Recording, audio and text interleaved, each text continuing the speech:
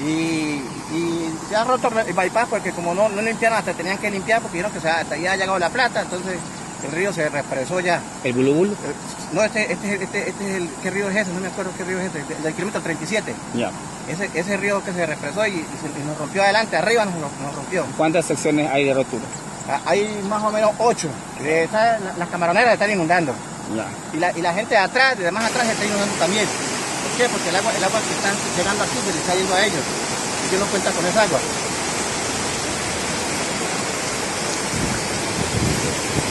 ¿Qué están haciendo ustedes como para un poco paliar el asunto? Ahorita estamos con una retro rompiendo para, para que el agua evacúe. Y, arri- y más adelante hay otra retro lim- limpiando también para el agua evacuar. Dos. Dos retros, pero hay que traer ma- material para tapar. Después, para tapar el bypass, arriba y ahí su, su- el agua que se coja su curso normal. Y si usted es que ha hecho hueco, haga cuenta que una, una retro ha hecho, ha hecho, ha hecho un canal y ahí, se mete el agua. Se ve.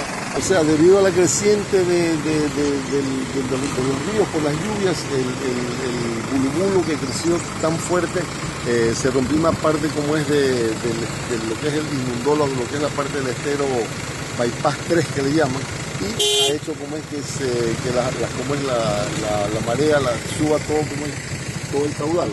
Exacto, sí, pero más adelantito, si usted va para allá, está roto en tres pedazos este muro de aquí. Entonces se ha, se afectado bastante, lo que ha hecho es inundar alrededor de, alrededor de unas mil, mil hectáreas. Entonces ahorita estamos ya, hicimos la inspección, estamos tomando ya acción sobre esta cuestión. Vamos en este momentito como es a coordinar para traer como es este tiras de escollera y ver cómo, cómo comenzamos a cerrar como es el y ¿En cuánto tiempo podría ya solucionarse esto? Eh, no sé, porque el- son tres partes que se han roto y las ¿Un otras tres cuánto, partes no? no se pueden. Ahí está como 50 metros, 60 metros más o menos, pero son tres sectores que se han, se han roto. Distantes, entonces. Exacto, entonces no podemos eh, ocultar lo que está más allá porque no podemos pasar. O sea, está, usted se va a dar cuenta, pues ahorita como está esta cuestión, de que en realidad no, no, no, no se puede, o sea, está bastante fuerte como es lo, el muro donde la, la parte que se ha roto. Aquí no ha llovido, ahí viene el agua de la El- parte exactamente, alta. el agua es este, este es un afluente del Bulbulu y va a, va como es a este de aquí desemboca en lo que es el río Churute. O sea, el esterito pequeño ese, Sí. que ahorita cuando, cuando esto esté en, en verano, esto prácticamente está seco.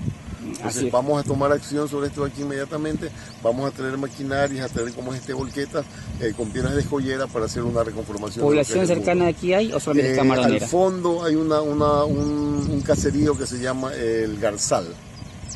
Sí. Eso es. Mm. Pero más que nada lo que ha afectado son las inundaciones a las hectáreas, a como es a unas mil hectáreas que están acá, que por lo general en su mayoría son este, eh, como es este, eh, camaroneras.